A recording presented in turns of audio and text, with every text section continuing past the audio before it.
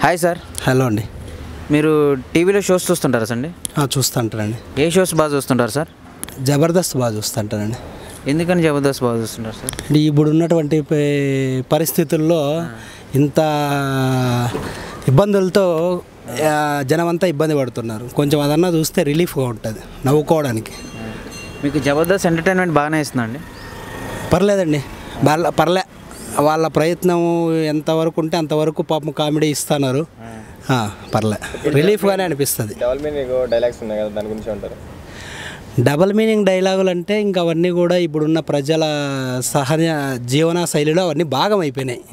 మనం ఇంకా దానిని ప్రత్యేకంగా సూక్ష్మంగా చూస్తే ఇంకెవరు డబల్ మీనింగ్ లేకుండా ఎంటర్టైన్ అవ్వడం అంటే చాలా కష్టంగా ఉంది పరిస్థితి. అంటే ఇప్పుడు ఆ డబుల్ మీనింగ్ ఉండటం వల్ల పిల్లలు చూసి వాళ్ళకి తెలియదు కదా వాటి గురించి. మరి ఎట్లా చూస్తారు కరెక్ట్ మంచి ప్రశ్న అడిగారు మీరు. పిల్లలు ఈ దీనిని బ్యాడ్గా తీసుకోవడానికి ఆస్కారం ఉంటుందని. కానీ ఇప్పుడు పిల్లలు చూడ పిల్లలు అలా బ్యాడ్గా తీసుకుంటున్నారని వాళ్ళు ఏం ఆపరు కదా. సో వాళ్ళు కూడా ఫిక్స్డ్. మీరు చూస్తే చూడండి లేకపోతే లేదు. ఇప్పుడు మా మేము ఎంటర్టైన్మెంట్ ఇస్తున్నాం. మీరు చూస్తే చూడండి లేకపోతే లేదు అన్నట్లు ఫీల్ అయిపోతున్నారు వాళ్ళు.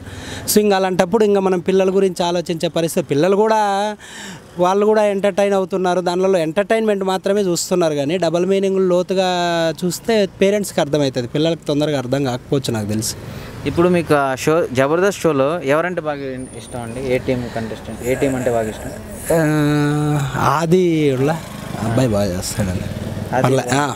అంటే ద వే ఆఫ్ అతను మాట్లాడేటటువంటి విధానము పంచులు వేసే విధానము పర్లే. ఆ సమయస్ఫూర్తి అనేది చాలా బాగా ఎంటర్టైన్ చేస్తాడు. అది పంచ డైలాగ్స్ ఒక్కోసారి ఎలా అనిపిస్తుంది? పంచ్ డైలాగులలో మీరు అడిగారు కదా ఇంతకుముందు ఏది డబల్ మీనింగ్లని? డబల్ మీనింగ్లు ఉంటాయి. ప్రాస యాస అనేది ఆ టయానికి కరెక్ట్గా ఉంటాయి బాగుంటాయి. ఇప్పుడు ఉన్న కంటెస్టెంట్ల అందరిలో కూడా తక్కువ టైంలో టీం లీడర్ అయింది అది మరి దాని గురించి? ఇంకా నాకు అంత లోతుగా తెలియదు. మనము ఎంటర్టైన్మెంట్ వరకు ఎంటర్టైన్మెంట్ వరకు చూస్తాము. ఇంకా వాళ్ళ బ్యాక్గ్రౌండ్లో అవన్నీ మనకు అవి ఎంటర్టైన్మెంట్లు కూడా నిమిషం నిమిషము టిక్ టాక్ లాగా చూస్తాం. అంతేగాని దాన్ని మళ్ళా లోతుగా వాళ్ళ హిస్టరీలు వాళ్ళ ఫ్యామిలీ బ్యాక్గ్రౌండ్లు వాళ్ళ ఫ్లాట్లు ఇవన్నీ మనకు తెలియదు. మనకు చాలా తక్కువ. ఇంకొక టీం లీడర్ ఎవరైనా ఇంట్రెస్ట్ అంటే బాగా ఇంకో టీం లీడర్ అంటే మీరు అన్నారు చూడు ఇంతకుముందు ఆది అతి తక్కువ టైంలోనే టీం లీడర్ అన్నాడు. సుధీర్. సుధీర్. కూడా పర్లేదు. బాగా కష్టపడి పైకి వచ్చి అన్ని రకాల కళలు ఉన్నటువంటి వ్యక్తి. ఆర్టిస్ట్. బాగా డ్యాన్స్ చేస్తాడు కామెడీ పండిస్తాడు ద వే ఆఫ్ స్లాంగ్ కానీ చాలా బాగుంటుంది. గుడ్. సుధీర్ ఆడియన్స్ని బాగా ఎంటర్టైన్ చేస్తుంటారా? పర్లే. చెప్తున్నా కదా గుడ్. ఇబ్బంది ఏం లేదు. అతని వర్డ్స్ అస అతను కూడా బాగా ఆ టయానికి బాగా కనెక్ట్ అయ్యేలాగా ప్రజలకు కనెక్ట్ అయ్యేలాగా బాగా చేస్తూ ఉంటాడు. ఇప్పుడు సుధీర్ చాలా షోస్ చేస్తుంటారు కదా మీకు ఏ షోస్ అంటే యాంకరింగ్ కూడా చేస్తారు సుధీర్ గారు? ఏ షో బాగుంటుంది అనుకుంటున్నారు? సుధీర్ ఆ కామెడీ బాగుంటుందండి. యాంకరింగ్లో ఏమవుతుందంటే పాపం వాళ్ళకి స్క్రిప్టెడ్ కాబట్టి ఈ దానిలలో అంత వీళ్ళు జీవించలేకపోవచ్చు. బట్ బేసికలీ వీళ్ళు వచ్చిండేది కామెడీ నుండి కాబట్టి ఆ కామెడీలో మాత్రమే మనం వాళ్ళని ఊహించుకోగలం. సో కాబట్టి comedy we like it good Sudheer హీరోగా కూడా సినిమాలు తీస్తున్నారు. సినిమాల్లో కూడా అంత విజయం సాధించగలరు అంటారా సినిమాల్లో విజయం ఈ మనం ఈ కామెడీ షోలను తీసుకొని సినిమాల్లోకి పోవడం అనేది పాపం వాళ్ళు నమ్మకం గుడ్. బట్ జనాలు ఎంత మటుకు ఆదరిస్తారనేది తెలియదు. ఎందుకంటే పెద్ద పెద్ద హీరోలు ఉన్నారు కదా. సో వాళ్ళ రేంజ్లో వీళ్ళు ఎప్పుడూ కూడా చిన్నగానే కనపడతారు. మరి ఆదరిస్తారా అభిమానిస్తారా లేదు మంచి హిట్ చేస్తారా అనేది జనాల ఒపీనియన్ మీద ఆధారపడి ఉంటుంది. అంటే మంచి సినిమా అయితే గ్యారంటీగా ఆదరిస్తారండి. అదేమి